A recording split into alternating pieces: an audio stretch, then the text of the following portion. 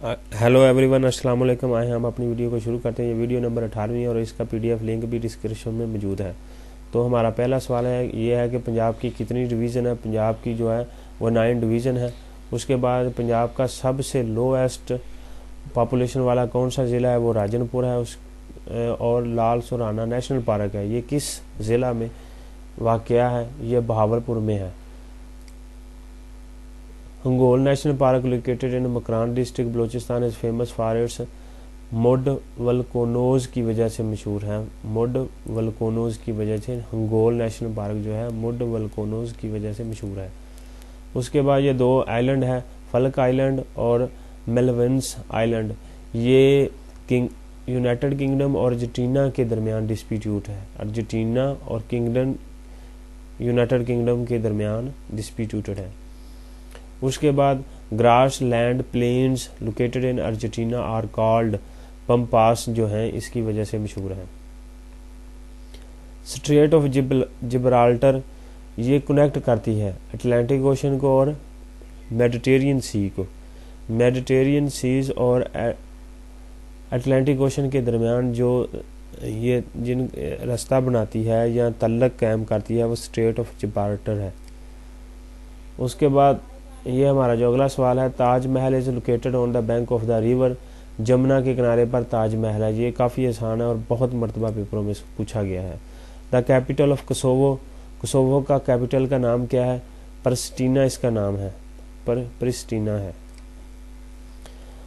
Usain Bolt hordes, ये एक racer थे और इन्होंने हंड्रेड मीटर्स का रिकॉर्ड कैम किया था और इनका कौन सी कंट्री से तलक है? जमाइका से इनका तलक है। Detroit USA is associated with industry ये इंडस्ट्री ऑटोमोबाइल की इनके पास इंडस्ट्री है। Faiz Ahmed Faiz was awarded the Lenin peace prize in 1962 1962 में फैज अहमद फैज ने लीनर प्राइज जो था, उसे लिया था, हासिल किया था और अब्दुल स्तार ईदी ने लीनर प्राइज किस सन में हासिल किया था 1988 में, उन्नीस में इन्होंने हासिल किया था।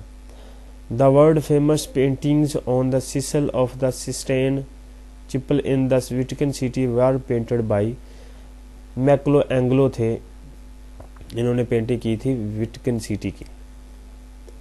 हु सेड किसने कहा था कि right is a reasonable claim recognized by the society and enforced by the state Bosanquet ने कहा था, ये एक क्रिकेटर थे, इनका मुकम्मल नाम था Bernard Bernard Bosanquet who among the following argues that the fault line of civilization are the breeding grounds of conflicts in the ये सैमुअल होंगटोन है इंतहाई मशहूर हुई थी इनकी theory the zero sum game as implied by the supporters of game theory, assumes that. ये game है जिसमें क्या होता है कि जो एक पार्टी का नुकसान होता है the loss of one party is the gain of the other party यही फ़ायदा, यही नफा अगली पार्टी को मिलता है। और ये भी काफ़ी मशहूर, जो कोटिशन है who said man is by natural political animal. Aristotle ने कहा था। यह भी इंतहाई अहम जो थ्योरी थी इनकी। उसके बाद during the British rule the only British king to visit India on and hold his durbar was George five ने ये दरबार लिया था। ये 1911 में दरबार लिया था और ये लफज जो दरबार है ये पुल, पंजाब पुलिस में लफज इस्तेमाल किया जाता था।